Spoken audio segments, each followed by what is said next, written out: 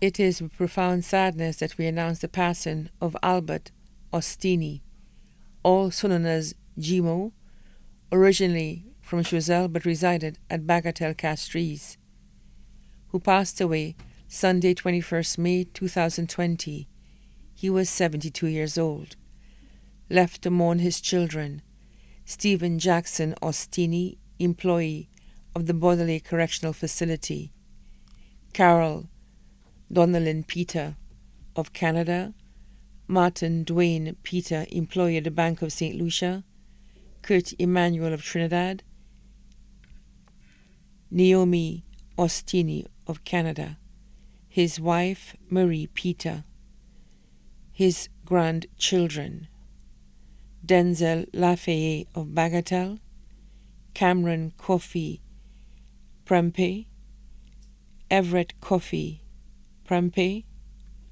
Joshua Rodriguez, Bella Rodriguez, Jada Emmanuel, Paige Louis, his sisters Katharina William of Monsignor Choiseul, Martina Ajuda, also known as Envy of Denrevere Dennery, Cecil Paula Peter of Toronto, Canada, his brothers, his twin brother, Hubert Ostini of the USA, Winifred Pierre, also known as Sweeney of New Jersey, USA, Peter Peter of Fayette Choiseul, Lenore Peter of Lafargue Choiseul, Wilson Peter of Monsignor Choiseul, Vincent Peter of Alberta, Canada, Harold Peter of Toronto, Canada, Cletus Peter of Brooklyn, New York. His aunts, Mary Felix of the USA, Helen Jelouis of Sanssouci Castries,